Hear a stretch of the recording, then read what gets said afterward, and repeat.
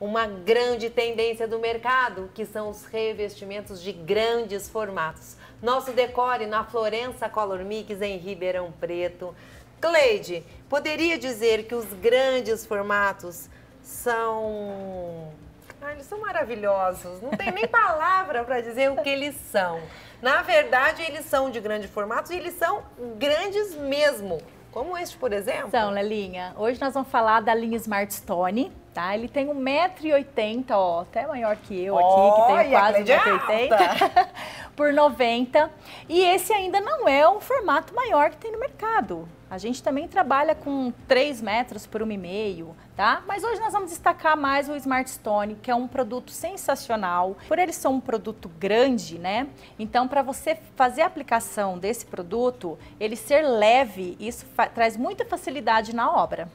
E como lá na Color Mix a gente tem o Smart Stone que abre um leque para gente sensacional de uma, de uma peça de grande formato que tem 1,80 por 90, não vai ter tantos recortes eu também não deixo de ler ele como um revestimento. Sim. Então eu tento casar com o que a gente está usando no chão, o que eu vou usar de armário, o que eu vou usar de cor, para juntar e criar um ambiente bem bacana. Os elementos naturais, eles hoje, eles adentram as obras, os projetos, digamos assim? Sim, eles não são só da área externa, né? Porque tem uma crença de que você usa esses materiais em fachada, em muros, piscinas, mas eles podem estar dentro de casa também, o que ajuda a sofisticar e deixar o projeto atemporal, porque são produtos da natureza e a natureza ela é atemporal, ela sempre vai ser bonita, isso nunca vai cair de moda. Então a gente gosta muito de usar esse tipo de material porque não tem erro. É a natureza é linda em qualquer lugar. É eu. Esse projeto que você traz desta piscina sem palavras. Lelinha, sem palavras. Mais uma vez, a Color Mix surpreendendo a gente com seus produtos. Isso aqui é uma novidade deles, que é a pedra sabão, é a Forest Green, que traz essa, essa visão de uma água natural. É, nessa casa se encaixou direitinho por questão da natureza. Nós temos bastante jardim. Então ficou sensacional. Não, ficou maravilhoso, gente. Nosso Decore agora traz para vocês um conceito que se chama Mood Board. O que, que é isso? Vocês vão saber agora com a diretora da Florença Color Mix, Cleide Salgado.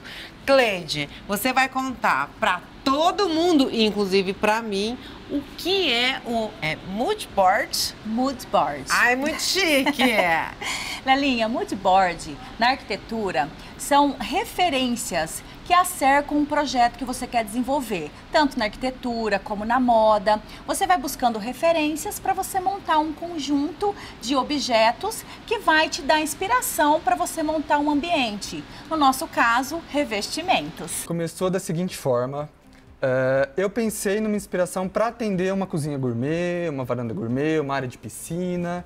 Então, assim, a inspiração veio justamente de um quesito mais rústico, talvez de um quesito um pouco mais aconchegante, acolhedor, que traga um pouco de personalidade, usando aí elementos naturais, né? Elementos de segurança, que traz um requinte, a Suite Master, é, a gente poderia dizer que é o lugar muito especial da casa, é, é o lugar do aconchego do casal, do dono da casa. Exatamente. Eu acho que se a gente for pensar assim, é o primeiro lugar que a gente está quando a gente acorda e o último lugar que a gente dorme.